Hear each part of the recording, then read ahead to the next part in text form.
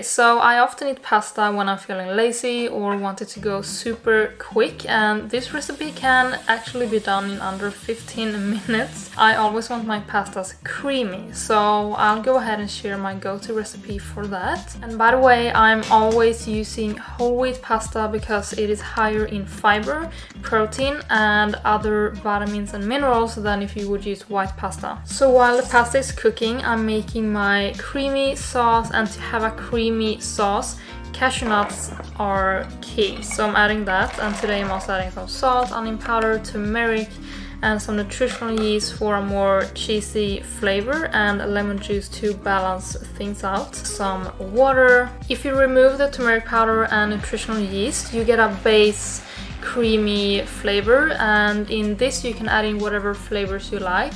For example, you can just have it plain and add sun-dried tomatoes or you can add in smoked paprika powder or yeah whatever just be creative. When it is done it should be looking like this. It is quite thin but it will thicken up when it's done. When you're draining the pasta reserve a little bit of pasta water in case you need more liquid and yeah, then just add in the sauce into the pasta and stir it around on a low to medium heat until the sauce thickens up. Some spinach, I love my greens, you gotta have them somewhere.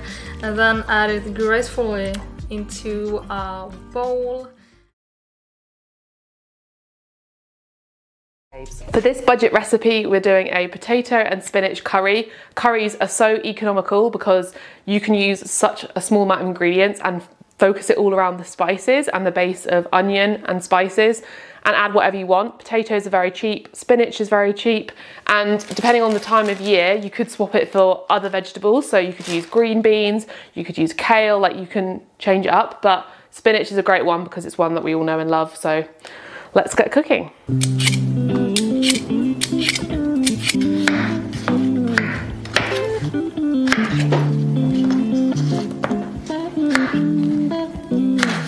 we have our chopped peeled potatoes. We're gonna parboil them for 10 minutes before everything else.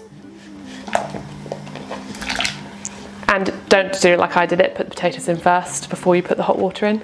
The key to a delicious curry is to make sure that you're cooking your spices before. I know it's easy to skip this, but you wanna fry your spices so that they get really delicious smelling.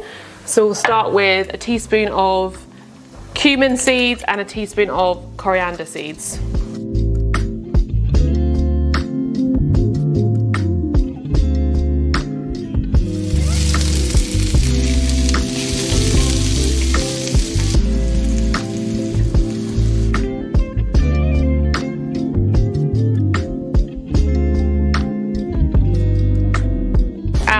Splash of water just to create a bit of a paste.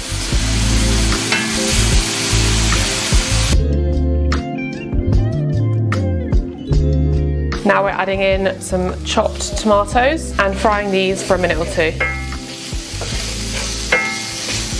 Then add your drained potatoes. And then 250 ml of stock hadn't mixed that very well. And two tablespoons of tomato puree. I'm just gonna finish this tube off.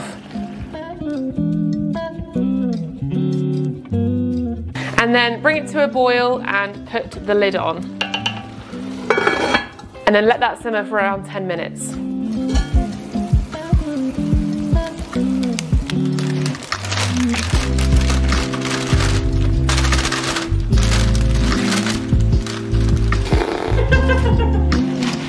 Add your spinach, pop the lid on until it's wilted.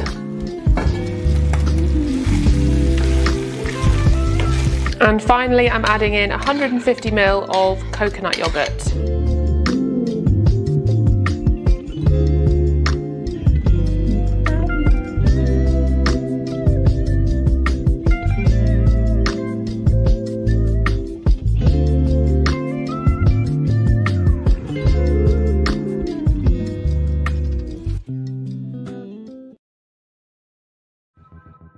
Next up, Buddha bowls. I am obsessed with Buddha bowls. My friend and I used to have a company devoted to creating Buddha bowl meal plans. Buddha bowls are amazing. Now, if you're not familiar with Buddha bowls, basically what they are are very balanced bowls, so a full entree. It takes after the macrobiotic principles of balanced eating. So there's a grain, a bean or lentil, so a legume, a starchy vegetable, a non starchy vegetable, typically a green, so kale, bok choy, broccoli, Swiss chard, spinach, whatever. A healthy fat, so that could be tahini sauce, avocado, could be some sort of like coconut based sauce, cashew cream, anything, and a fermented vegetable. Fermented veggies Oh, they're so good. They make things more delicious, but they also help you digest and they also add healthy bacteria to your meal and to your gut. So, a Buddha bowl encompasses all these things, but they can take so many different forms. Like last night, I had a Buddha bowl that was like a Mexican taco inspired sort of Buddha bowl with guacamole, rice, beans, salsa, sweet potato. Sweet potato, I put sweet potato in everything and some greens. You can do anything you want with Buddha bowls. Um, I'm to link to some Buddha bowl recipes down below. I even have a Buddha bowl meal plan that you can check out.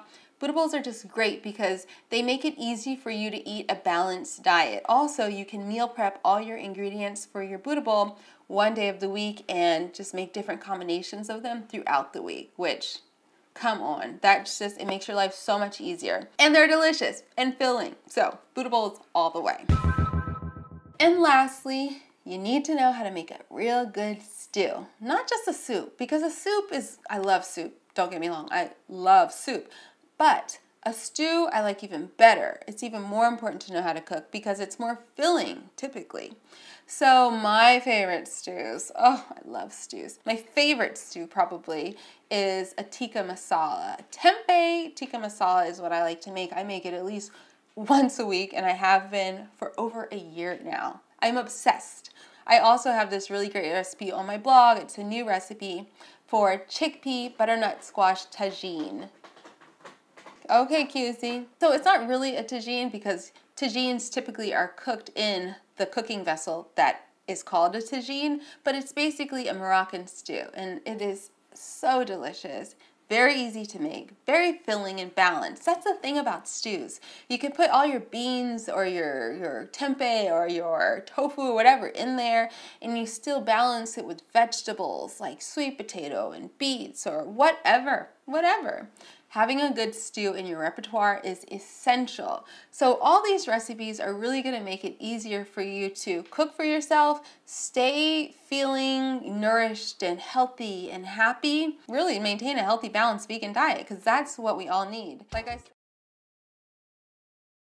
I think it's fair to say that most people like nachos. I personally love nachos, so I'm always looking for ways to have that nacho experience, but sometimes I want it to be something that is also really nourishing and makes me feel good at the same time. So a dish that I've been making for years and years is potato nachos, and I love that you can really change this up based on what you have on hand or what you're in the mood for that day. It's balanced with that ratio of carbs, protein, and fat, but it also is just really enjoyable and fun to eat. So it's like a win-win-win across the board and it's just one of those meals that I never get sick of, so I make it all the time on repeat.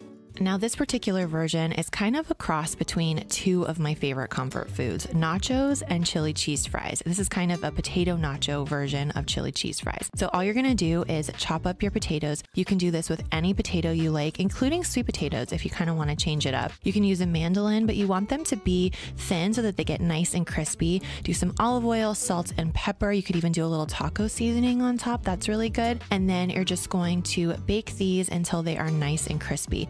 The next step is to warm up your chili. This is going to go on top and this is going to be loaded with fiber and protein from the beans and the veggies. It's also going to add quick flavor, but you don't have to make it yourself. You can definitely use a store-bought version to make this meal easy, or I will put one of my favorite vegan chili recipes in the description box below. This is another meal I make on repeat, so you're kind of getting six recipes here, but this is a great one on its own as chili with some cornbread and fun chili toppings, but it's also delicious when you turn it into kind of cheese fries or nachos like this. And I always like to layer my toppings because I don't want them all to be on top. I want every single piece of potato to have loads of tasty toppings on top. So I layer on my warm chili, then I add some vegan cheese. This one from Violife is really good, but any cheese you like will work. Then I pop this into the microwave or if you want to if you want to keep the potatoes really crispy, you can do this on a sheet pan and melt the cheese in the oven. So for toppings, I like to focus on creating contrast. And because the base of this recipe is really hearty and spicy and just very savory and rich, I like to cool things down with the toppings. So I complement that with some cool, creamy sour cream. We've got pickled, kind of sweet and tangy red onions, and then something fresh like cilantro or scallions on top. Let me know which one of these five recipes you're excited to try first. And if you have any questions, let me know in the comments. Don't forget to check out the link for Catalina Crunch in the description box below. Use my code to get that 15% off. And I hope you guys have a really good day. I'll see you soon.